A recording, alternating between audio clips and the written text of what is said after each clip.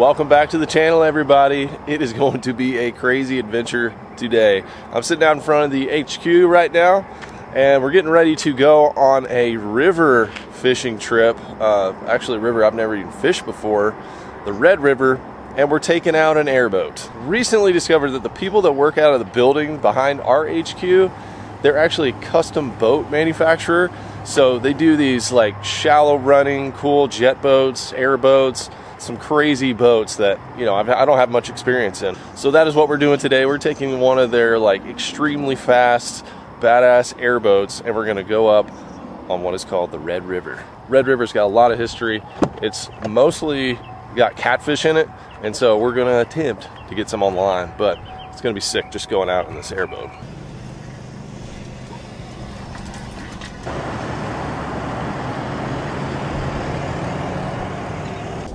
Right now it is appearing as if we are on a Longhorn Ranch, which I'm assuming is on the river. I, I thought we were going to like a public boat ramp somewhere. I have never been up on the Red River uh, in this area. I've crossed over, you know, 100 times on I-35, but this is somebody's ranch apparently. We're getting a little special treat here today.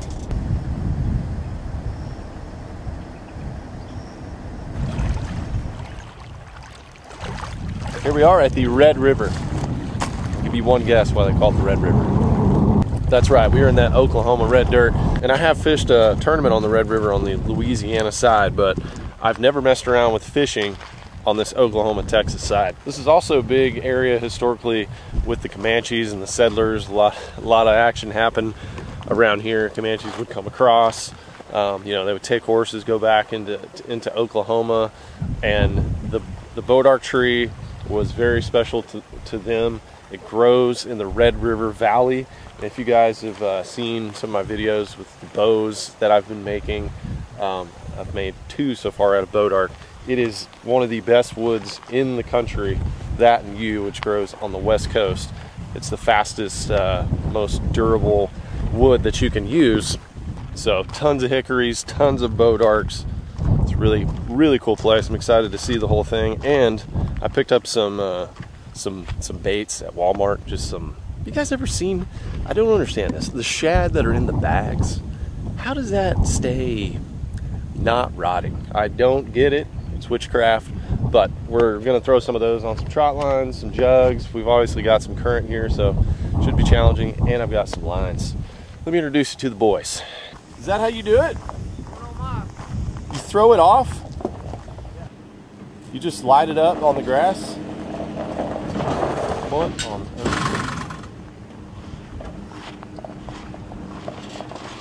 Is that uh is that common practice or is that something you guys just do?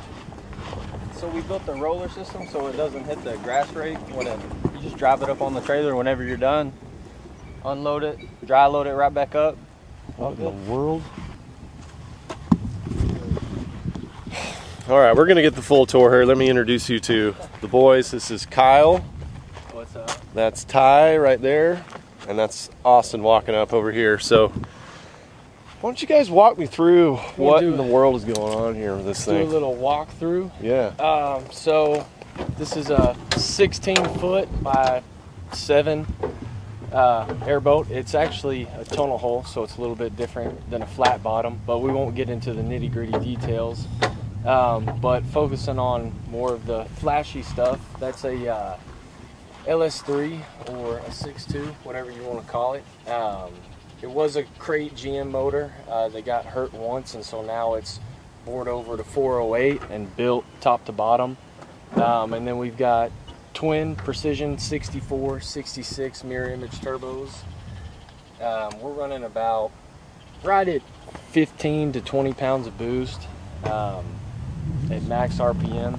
Like how many horsepower does this thing have? Um, so I mean we've never had it on a dyno, but we're guessing that on pump fuel and the way everything's set up, uh, it would make in between nine and 950 on a dyno. Oh, um, so pretty stout. Um, and then we're running a uh, counter rotator belt drive system.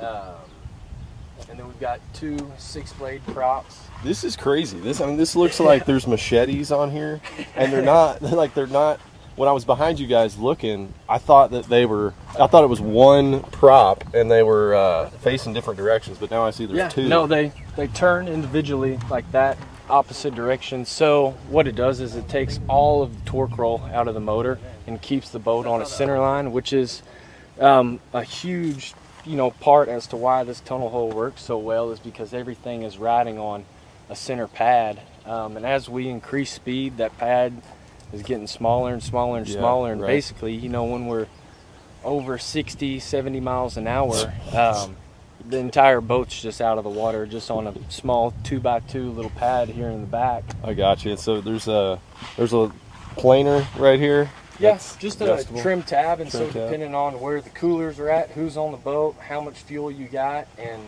especially like if we're out on the river and there's 50 boats during a river run, uh, the water's not smooth, and so we got that trim tab just as like a dampener, uh, just so it doesn't beat the hell out of you when you're driving.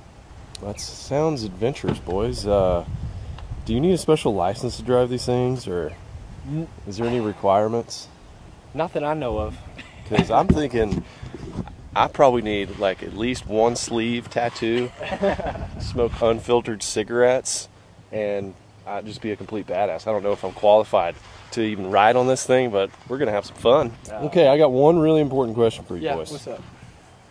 Do you have four sets of ear- earmuffs? Yep. Yep. So Damn we right. wear- Be in trouble there. You wouldn't make it without it, I promise. I can Yeah. guarantee you. I bet if I stood here, you guys turned this on, my clothes would blow off. Oh yeah. Man, no one uh, wants to see that. We're about to turn it on, let it run, get it warmed You up, just and then we'll. jacked this thing off the trailer, like dumped it, and I guess you're just gonna ride down these rocks. It's all it's all good. oh yeah, yeah. Okay. All right. It I'm, runs dry, no problem, man. everyone wants to see this.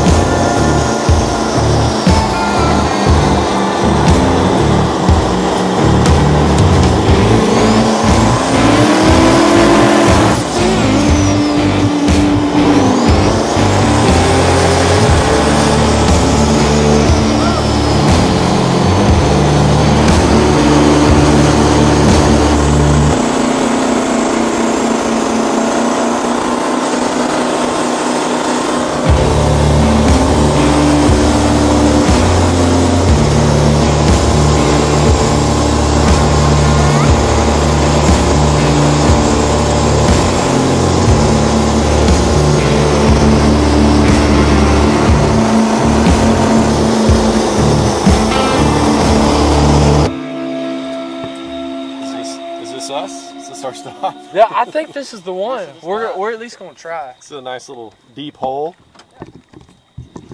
Holy moly.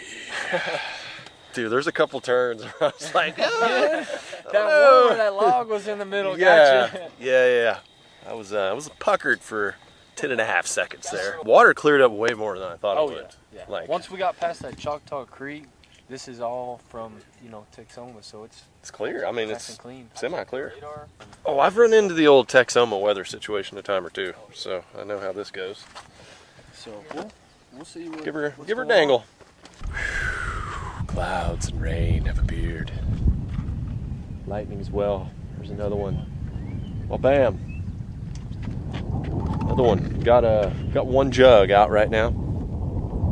Just building a couple more. We uh, we're gonna be out here if it rains. There, there is no easy escape, I assure you. So bucker up, bucker up your butts. I'm gonna, I'm gonna step down from the highest point here. Kyle, you're kind of screwed. So, lightning always gets the tallest object.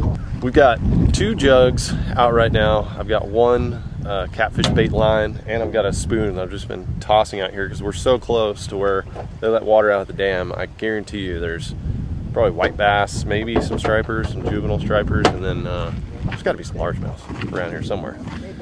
But uh, I think we're going to be obstructed by lightning. There's only so much that uh, that a man can take. You know, lightning popping all around. Since we're on a river, we just got these crazy weather changes. It's gonna fly out. Oh yeah, put it in that. Yep.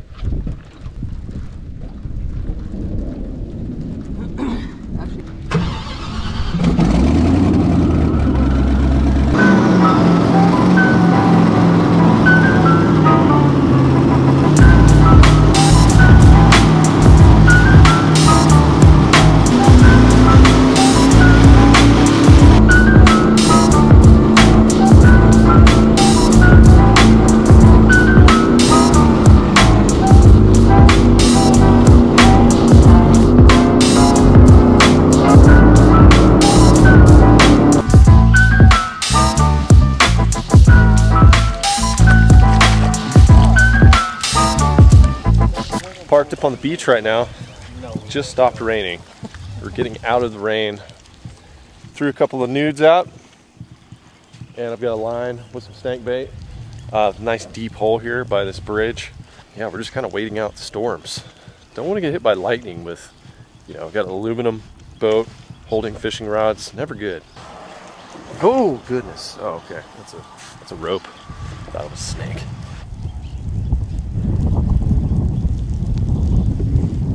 Sad what do we day. got? Got our hopes up. Nothing but a turtle. Oh, dude. It's total time. It's just freaking total Total time. time. It's a total time on that bridge. Dead coming, man. The line started moving. Ty grabbed the pole and it's a it's it's a turtle. Catch of the day. Got some red eared slider, a beauty. Turtle was released on Instagram. This adventure, I think, the fishing part of this adventure is is maybe coming to a close. Um, we're in a deep hole right now, which I would think is a great catfishing spot. Still got the two jugs out. I haven't seen any any bobs, any movements on the jugs over here. I'm just not I'm just not feeling the love today. Maybe the catfish aren't feeling the love. I don't know. I don't know. Pretty sick getting around in this baby right here. This thing is so so hot, like on this engine, that I literally thought the sun was like hitting the back of my neck. It was just the engine. It was just the heat. So pretty extreme stuff. And we were only going like 40. But how, how fast will this thing go? How fast? Yeah, if we really wanted to like kick up the juice, Like 85. 85. You kidding me? That's faster than than my boat. Not safe? Oh yeah, it's super safe. Yeah, yeah. He's sarcastic. Ain't safe. We ain't doing that here today. I want to live. But anyway, there's some really cool adventures to be had in boats like this. They also make like specific uh, bow fishing boats, and uh, when they have one of those in the shop, I'd like to like to get out and do the bow fishing with them, with all the lights and everything. Especially on these rivers, you just can't. You either have you have to have a jet boat or you have to have an airboat like this. We were going over water that's like this deep, so even the crispy collector would not last. Thank you.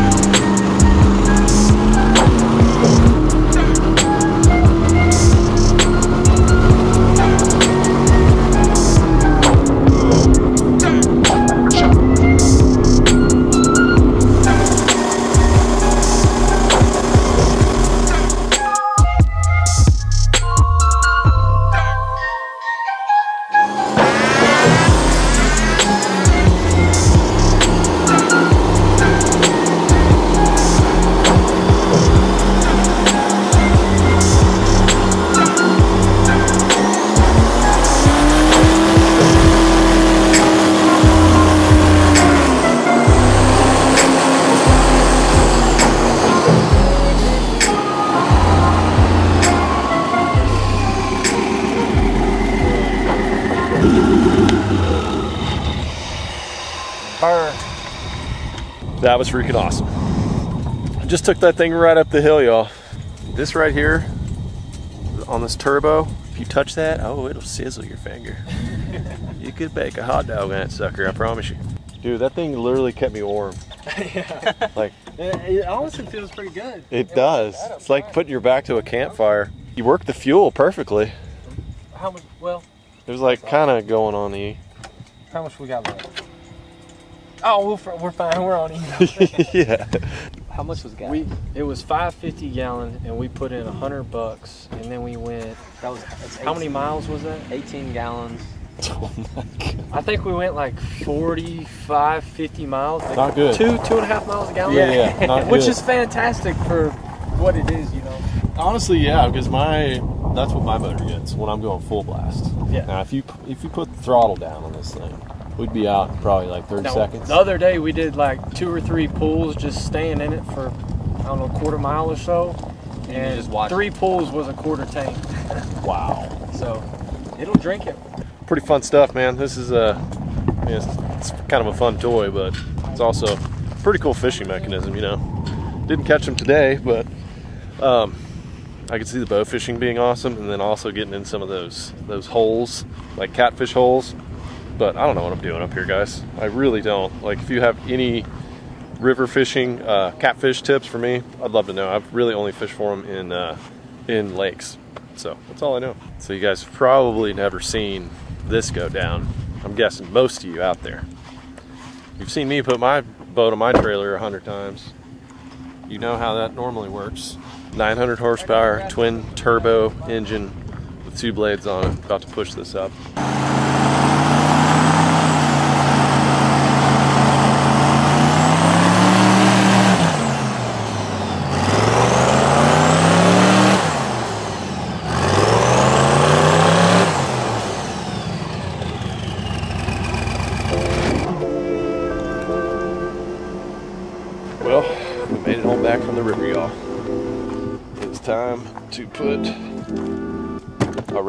Back in the crispy. want to thank the boys over at Aerowake for taking me out today for a unique river experience, to say the least. I think I need to go back out there when I know what the heck I'm doing with you know, catfishing. I know they have huge catfish in there. I just, I don't know, too scared to get in there and noodle with them, I suppose. But what I do have is my trot line stuff that I made uh, in a previous video. So, so I've been anxious to take it out and actually get some fish on it. What I'm not sure about is uh, this stuff right here. These shads that are like, I, I, I don't know. They don't smell. It's it's really weird. I'm like, how can that, how can that be? And you may also notice that that big beautiful silver bullet is back in the driveway. She is fully locked and loaded and ready to dangle. That is coming up as well. Thank you guys for tuning in to another outdoor adventure, hanging with me. Smash the like button for adventurous and greatness in the great outdoors.